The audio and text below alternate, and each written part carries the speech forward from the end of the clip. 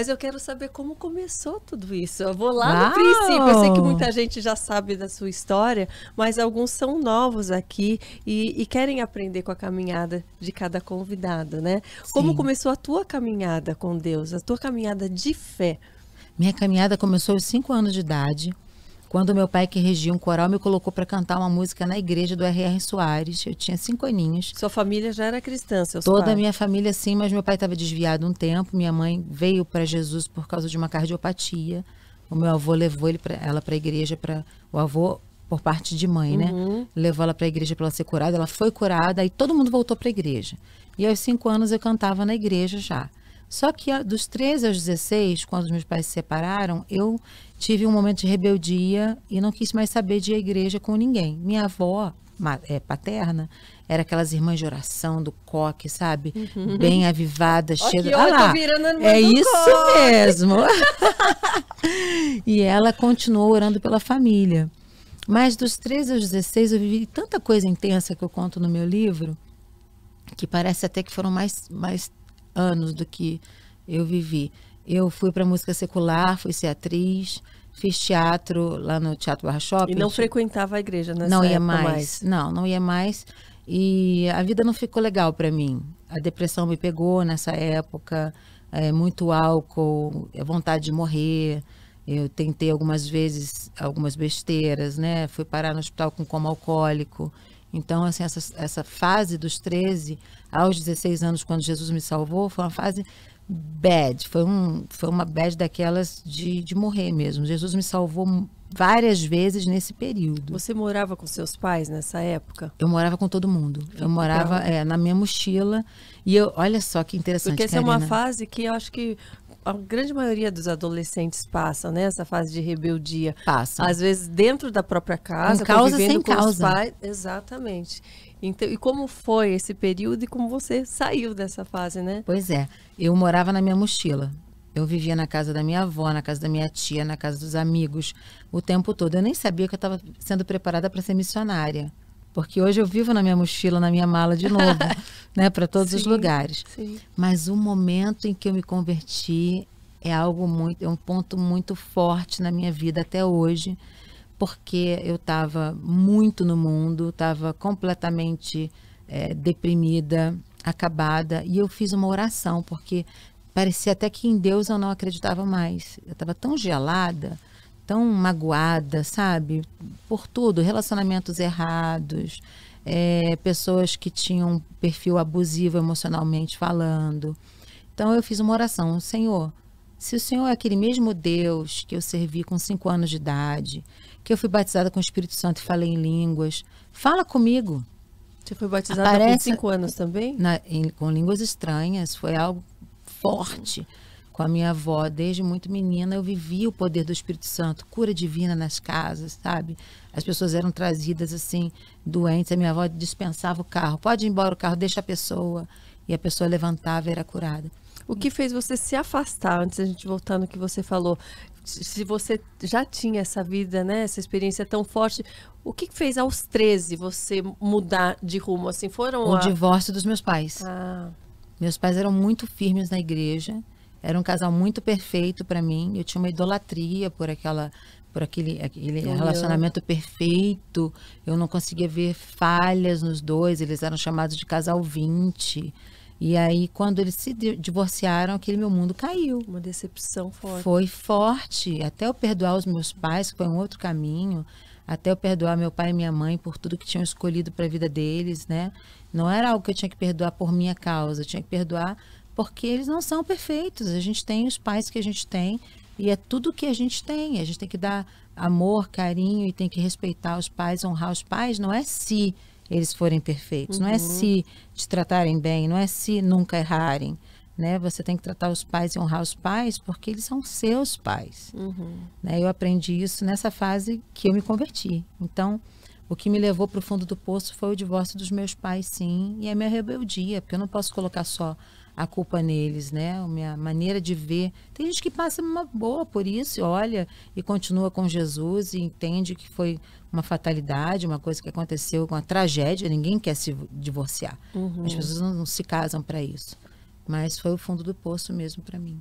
E daí para você ser resgatada dessa Uau, foi lindo, Karina, foi lindo que eu vivi, porque eu pedi ao Senhor, fala comigo, aparece na televisão. Na televisão? É, você queria? Eu queria. E as coisas começaram a acontecer comigo. Eu pegava o ônibus, o motorista falava assim: Menina, volta para a igreja. Aí eu, vocês estão me perseguindo, não é possível. Esse motorista não sabe quem sou eu. Às vezes me chamava pelo nome: Fernanda, volta para a igreja. Hum. Eu parava na, na barraquinha de cachorro-quente, a moça do cachorro-quente falava, falava para mim: Você não foi feita para cantar no mundo, você é da igreja. Ela não sabia nem o que estava dizendo. Sim. Aí eu lembro que a minha turma, minha banda, começou a dizer: Você tem voz de cantor gospel? Aí eu dizia: Eu não gosto de gospel, eu não gosto de cantores gospel.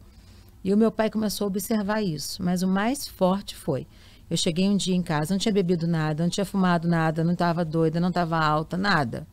Eu cheguei em casa e falei: Deus, o senhor me quer, fala comigo. Aí eu fui arrebatada, Karina. Como assim? Eu fui arrebatada. Eu vi, eu saí do meu corpo, Comecei a andar pela casa. Quando eu olhei, o meu corpo estava na cama. Ah. E eu estava fora do corpo. Você estava orando, assim, falando com eu Deus? Eu orei e fui dormir. Ah, então, o, o, apóstolo Paulo vai explicar isso como experiência de arrebatamento. Sim. Como se o próprio Deus tirasse a gente do corpo para a gente ver o mundo espiritual. Então, não foi ninguém que pregou para mim exatamente. Uhum. Foi essa minha experiência que puxou o pino da granada. Sim. Então, eu saí do corpo, vi anjos, vi demônios, Vi os demônios que tinham feito tudo para os meus pais se separarem. Como o espírito do divórcio existe. Uhum. É um demônio mesmo, é algo forte. E eu vi o trabalho de feitiçaria que tinham feito para os meus pais. Uhum. Eu comecei a andar na minha casa. E vendo tudo. Vendo como se tivessem aberto os meus olhos. E eu começasse a ver assim, como eu vejo você. Como eu vejo as pessoas. Eu vi os anjos, uhum. eu vi os demônios, eu vi a batalha que eles estavam travando eh, contra a minha vida. E os anjos de Deus estavam fazendo força em meu favor. E aí, em dado momento, eu vi uma luz que atravessava a televisão que estava no meu quarto, na minha sala. Na, nessa hora estava na, na minha sala já. Eu conto isso no livro com muitos detalhes. Não tinha mais ninguém na sua casa ali? Não, minha mãe estava no quarto doente, deprimida.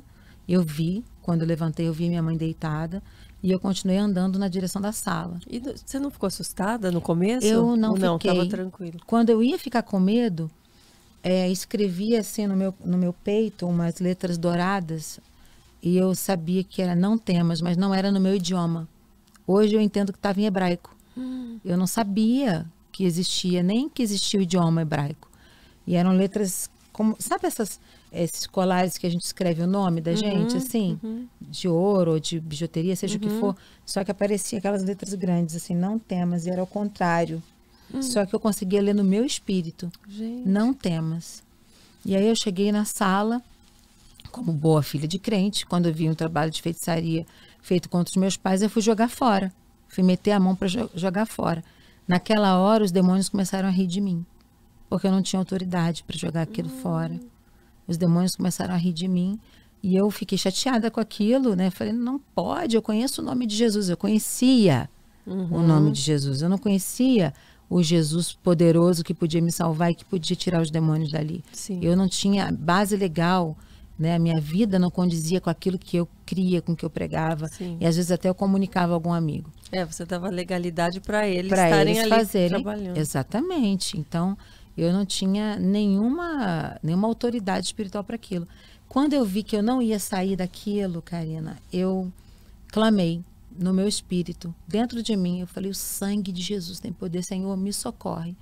Quando eu clamei, a porta da minha sala se abriu e parecia maior, e um anjo enorme apareceu na porta. Ele tinha cabelos para trás, assim como se ele tivesse um, um coque samurai, vamos dizer, Uhum. cabelos brancos como prata, assim, prateados mesmo, brilhava. Eu conto para você como se estivesse vendo agora.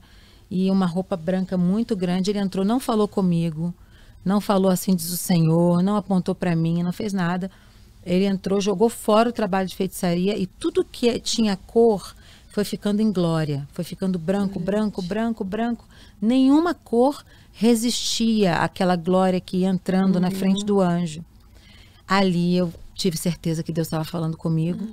E uma luz me atravessou o peito quando ele saiu, tirou os meus pés do chão E eu fiquei no meio do caminho assim, e aquela luz era como voz de muitas águas, era como muita luz, era como uma voz de trombeta forte, grossa, era, era intenso em mim. E aquela voz falou comigo assim: Não te deixes vencer, pois tu podes morrer sem a luz do céu ver.